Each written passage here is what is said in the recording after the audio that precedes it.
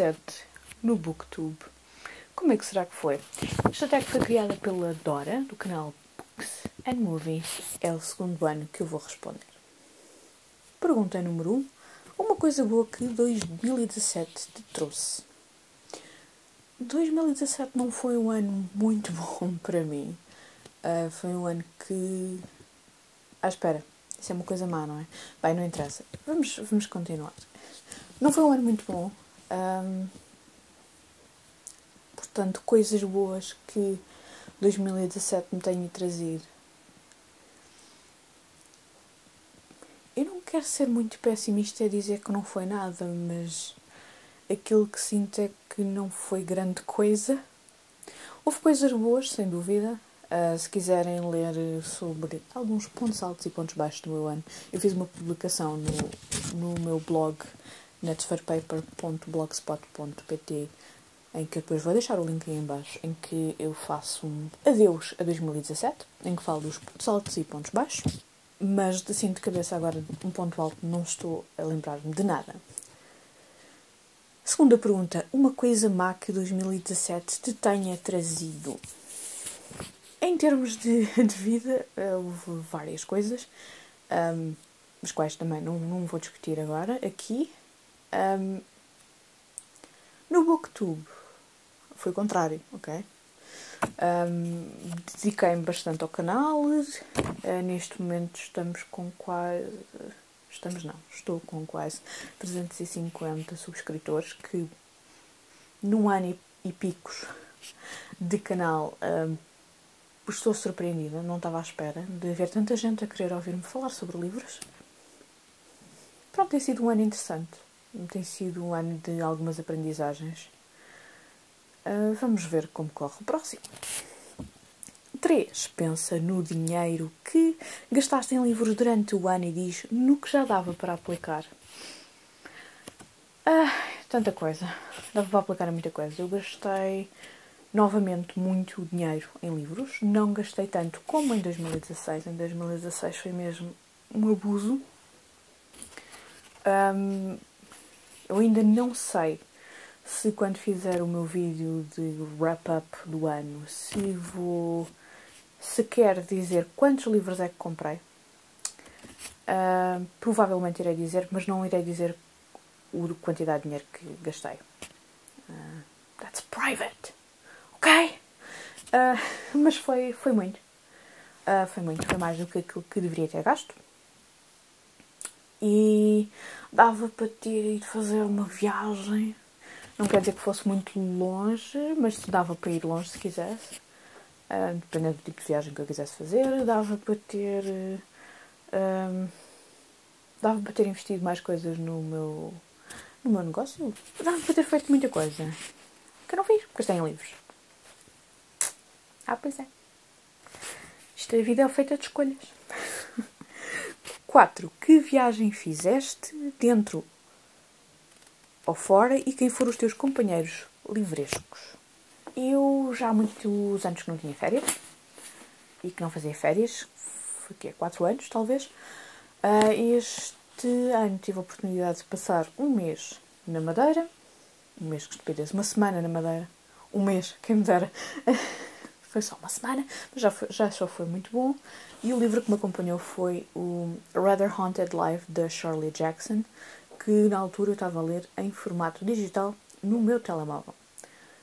E é uma biografia da, da autora Shirley Jackson, escrito por Ruth Franklin, e que foi um livro fantástico que eu adorei ler.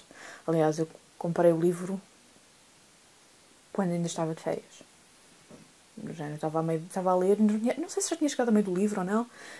O outro livro que eu levei nessa viagem também foi o Weird Sisters do Terry Pratchett, que foi a minha leitura de avião, tanto para cá como para lá.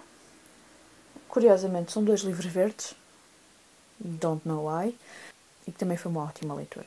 5. Conheceste pessoalmente alguém do Booktube? Bem, este ano conheci imensa gente, não só na Feira do Livro, como também nos encontros que fui do Clube dos Clássicos Vivos.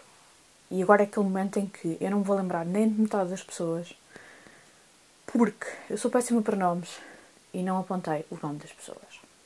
Vamos já se me lembro toda a gente. A Cristina do Books and Beers. A Sara Cristina adora do Books and Movie. A Isa do Jardim das Mil Histórias. A Cláudia da Mulher que Ama Livros. Conheci também algumas pessoas de blogs de, de livros que também, são, também costumam aparecer neste tipo de eventos do, em que aparecem alguns booktubers, mas que eu agora não, não me estou a recordar do nome. Um, a Elisa da Miúda Geek, a Paula do canal. E eu estou-me a esquecer de, de algumas pessoas, mas a cabeça não dá para tudo. mas foi muito interessante. Um, não só o, o, alguns dos encontros que eu fui do Clube dos Clássicos Vivos, quer dizer, é, esses são encontros um bocadinho mais uh, direcionados para discutir uh, livros, obviamente, uh, mas também foi muito interessante depois o encontro que houve na, na Feira do Livro, porque foi, foi diferente, não havia nenhum formato, fomos almoçar e tivemos na conversa e andámos a ver livros, que é basicamente aquilo que uma pessoa gosta de livros gosta de fazer, não é? Uh, e eu comportei muito bem na feira de livros, só comprei dois livros. Já tinha andado a gastar dinheiro antes. E gastei depois. Enfim, história da minha vida. 6. Escolhe três livros que vais decididamente ler para o ano. Primeiro todos, porque quero me armar inteligente e gosto de ler assim coisas muito diferentes. Não, não tem nada a ver com isso. É um livro que me deixa curiosa, que é o Dubliners, do James Joyce. E parece-me ser talvez a obra mais fácil e acessível do autor. Vamos ver como é que corre. Se não gostar, é muito simples, deixe de ler. Uma autora que eu já ouvi falar, não muito, mas já ouvi falar, já, também já me disseram que é bom. Uh, Catherine Mansfield, e isto é The Collected Stories. São contos. Para não fugir muito assim ao tema, eu gosto de contos e tal. Joan Didion. We tell ourselves stories in order to live. Isto são várias uh, peças que ela escreveu para, penso mais que jornais do que revistas, durante os anos 40, 50 e 60, se não estou enganada, se não será 50, 60 e 70 qualquer coisa do género. Ela é, ela é era, agora acho que já não é jornalista, jornalista, escritora e que retrata um pouco da vida uh, nos Estados Unidos durante este, este período de tempo que vos disse. Este livro é todo de não ficção, foge um bocadinho àquilo que eu costumo ler, mas eu gostei e estou a gostar bastante da escrita dela porque uh, eu não resisti. Quando o livro chegou, comecei a lê-lo. 7. Escolhe os três livros que mais te marcaram em 2017 e explica porquê. Nenhum destes livros vai ser novidade porque ao longo do tempo eu tenho falado deles. Mas talvez um deles não tenha falado, já não falo há muito tempo. Vamos começar por The Color of Magic, do Terry Pratchett, que é o primeiro livro da série Discworld e que eu comecei no final de 2016, mas foi o primeiro livro que acabei de ler em 2017. Foi o primeiro livro da série Discworld, foi o primeiro livro do Terry Pratchett que eu li e de alguma maneira representa os livros todos que eu li do Terry Pratchett. Também não foram muitos, mas também não foram poucos. E que um, é sem dúvida um, um autor que eu quero ler mais. Os livros dele são uma mistura de fantasia, mas para mim a melhor parte é mesmo o humor do autor e a maneira como ele consegue brincar com não só a criação do mundo que ele faz, que de alguma maneira é um pouco o retrato do nosso mundo, mas com vários twists e com um humor mordaz assim fenomenal. Se é um livro para qualquer pessoa, se calhar não. Um, porque eu acho que se perderem o humor dele, perdem qualquer coisa muito grande nos livros. E estes livros, para mim, uh, vivem muito dessa parte. Um livro que não é surpresa: Fun Home, de Alison Butchell, uh, biografia e uh, graphic novel. E de certeza que em 2018 vou estar de olho no segundo. Este é, conta a história da, da, ilustradora, da artista, de, foi ela que criou a história. É uma biografia que está muito ligada à, ao pai dela, e conta um pouco da relação que ela tinha com o pai dela. E o, o outro livro que ela tem, uh, também biografia, está mais relacionado com a mãe e parece-me que vai ser também muito interessante. E também já ouvi dizer que é melhor que este. A pessoa que não lê não ficção, nem lê biografias e o terceiro livro que eu vou falar é uma biografia. Isto nunca digas, nunca, nunca, ai, nunca digas nunca, nem nunca digas que desta água não beberei porque o mais provável é provarem que estás errada. Shirley Jackson, A Rather Haunted Life, de Ruth Franklin. Eu já falei várias vezes sobre este livro, tenho uma opinião deste livro aqui no canal. Se eu me lembrar, deixo, deixo uh, o link. Eu adorei, mas é assim. Uh, não vão para este livro sem terem lido uh, a autora, mais do que uma obra porque hum, isto dá-vos um insight sobre a vida e obra da autora, mas também traz alguns spoilers para os livros. Eu, como não me importo com spoilers, está tudo bem. Oitava pergunta: Quantos livros leste este ano? Foi o ano que eu li mais. E se o ano passado eu já tinha dito isto, este ano, repito, mas este ano ainda foram mais. Mas é assim, depois vocês irão perceber melhor as divisões de géneros, como é que isso me fez também ler bastante. E estou a enrolar isto para não vos dizer o número. Uh, foram mesmo muitos. Uh, tenho a noção que talvez tenha andado a ler demais. Uh, como já tinha mencionado nos meus objetivos, no, num vídeo que eu fiz de, de balanço das leituras, se tinha cumprido os meus objetivos ou não. Deixo o link.